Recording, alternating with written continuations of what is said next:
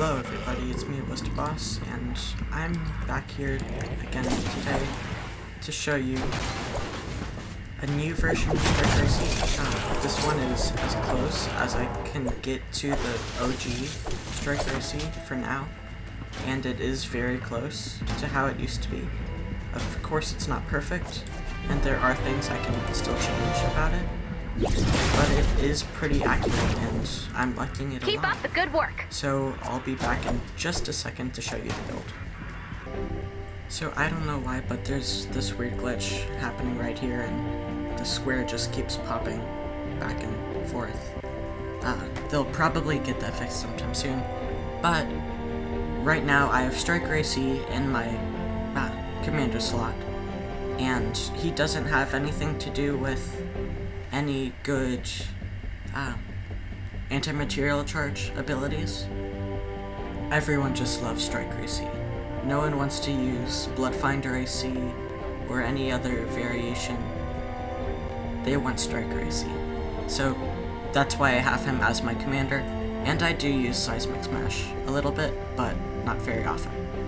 Um, then for my team perk, I have Long Arm of the Law, which is very good, and it increases the range by one tile for anti-material charge.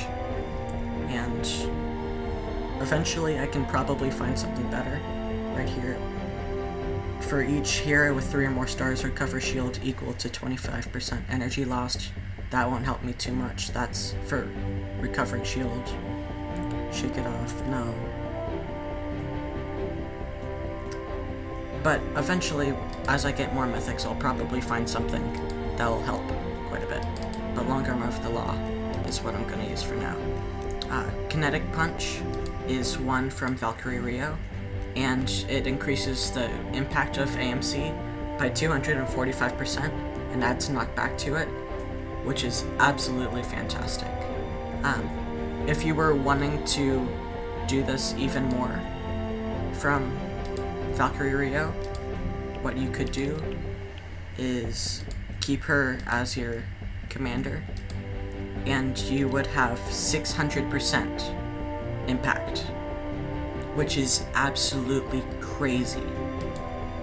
So, you can do that if you want, but everyone just loves Striker AC. Look at him. He has all the money signs all over the golden hat, the golden glove. He's just a great hero, and I really don't want to use anything up, anyone else but him. Um, I've seen the Pathfinder Jess build, where she has many different short AMCs, which recover energy fast, but I just don't want to use her. So, Parting Gift does the fireworks, which is next, and I think it's Flash Eagle Eye that does that, but it leaves behind fireworks that deal 3 base damage per second. Um, I'm not exactly what sure what base damage is for right now, but I'm gonna keep it there because I use phase shift a lot.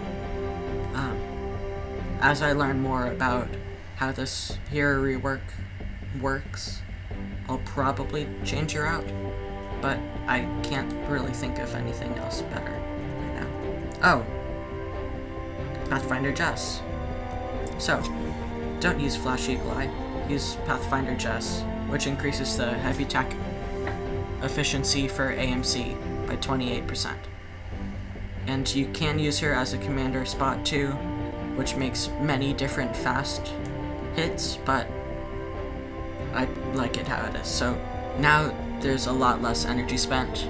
It's still a lot, but if you want more energy in your game, always get the um, energy pylon in game. So that means get to blue glow and search around the map for where it has the battery.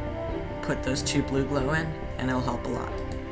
Um, here is Phase Siphon from uh, Sanguine Dusk, and whenever you phase shift, it heals you a bit from each enemy passed through. So if there's a ton of husks following you from an encampment or something like that, phase through them, and it'll hurt them a bit, and you will also get some health from it. uh, here from Jingle Jess, I get extra Teddy duration, which is always nice.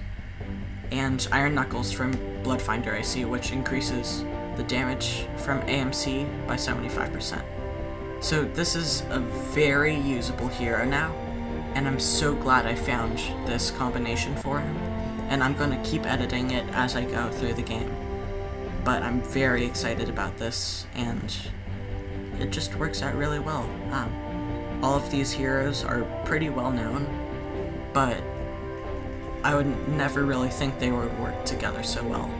And Striker AC is just an amazing hero, and I hope everyone will keep using him instead of Archaeolo-Jess, just because she attacks faster. But here we can do more damage, especially with Iron Knuckles. But, um, I'll go back to the game for a quick review of him, and I'll be back from there. See you guys. So, as you will be able to see in just a second, it is a pretty decent build, and I am liking it a lot, and it feels almost exactly the same, but there are some things I'm trying to do to fix it.